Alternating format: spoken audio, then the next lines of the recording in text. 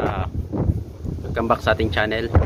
So sa araw na to guys uh, binigyan na tayo ng duty para sa ating gagawin. So ipapakita ko sa inyo guys yung mga gagawin ko sa unang sampa ko rito so bago lahat please don't forget to like and subscribe sa ating channel. Uh, so let's go. Papakita ko sa inyo yung mga gagawin guys. So guys uh, nandito ko ngayon sa ayan nakabiyahe kami ngayon papuntang China. So ito yung gagawin ko guys dahil niya guys. Itong pumipigil sa ano niya. So na natatanggal siya. Kaya ang ginawa ng kapalitan computer pina, nilagyan muna niya ng pansamantala nito na plate. Ito siya. So ngayon ang gagawin ko dito guys susukatan ko itong pinakagitna niya simo center niya yun. Pinaka ano niya guys susukatan ko yan. Para makuha ko yung bilog niya magbibilog ako doon parang lalagyan ko siya ng pahaba dito na 5 uh, 5 cm para doon sa gilid-gilid niya. Para hindi siya ma, ma mabaklas. Ayan. Ito guys oh. Brake pad niya. So mamartilyuhin pa natin to kasi medyo ano eh, lubog. Yan guys. Kikita nyo so yan yun ngayon yung ano ko guys. Susukatan ko yan. Yan kaso mahangin ngayon guys yun biyahe namin ngayon yan so marami na rin dito ano guys. Mga gagawin talaga ito rin ang daanan kaya guys susukat muna tayo guys. Yan guys ah, nakating ko na guys. Yan so pasensya na kayo guys kung hindi ko nakating yan so papaliwanag ko pala sa inyo guys yung circumference nya yung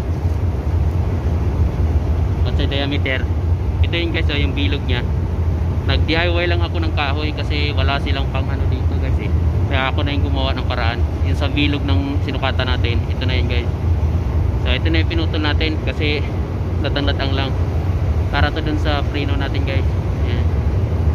so kakabit natin guys. Lilinisan ko lang yan. Tapos pupunta na tayo dun sa trabaho natin. So tara. Abangan nyo guys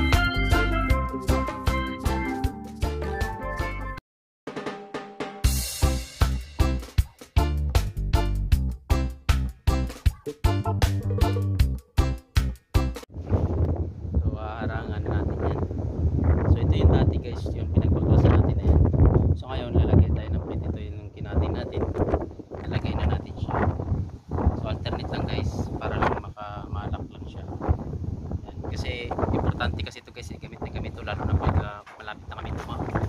Kailangan na, ito kasi guys, lumalabas itong preno na ito. Ito yung pinaka-preno niya. Lalabas kasi ito. Kaya ito yung ginagawa ko ngayon. So, hindi ako lang makapag-video dahil malakas pa yung anon guys. Ito yung area ko ngayon. Okay guys, uh, malapit na matapos yung trabaho namin guys.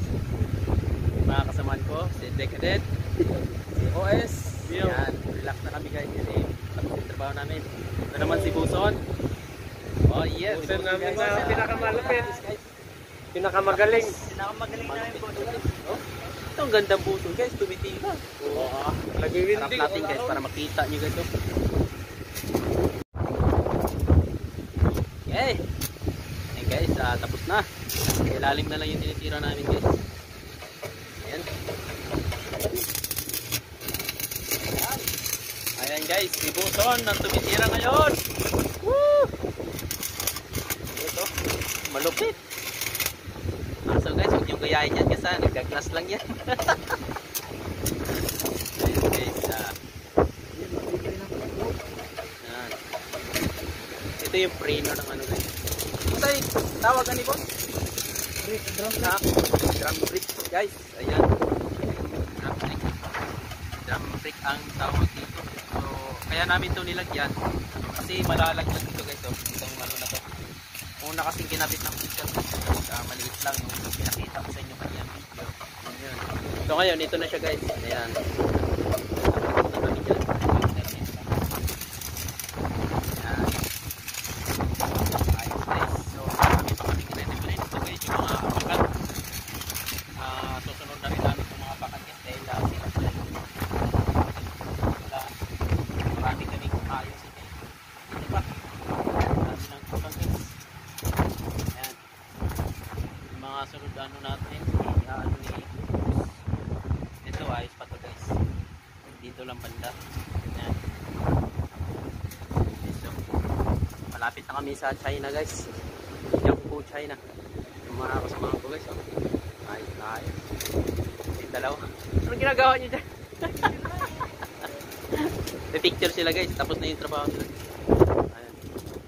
Ano, yung ano natin, angkla. Medyo may kalumaan na rin siya guys. Ayan. Okay.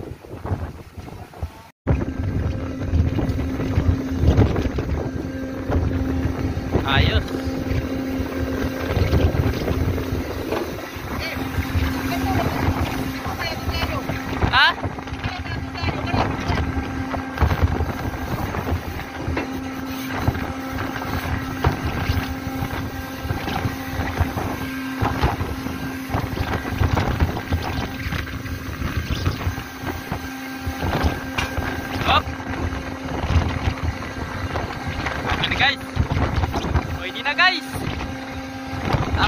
Guys.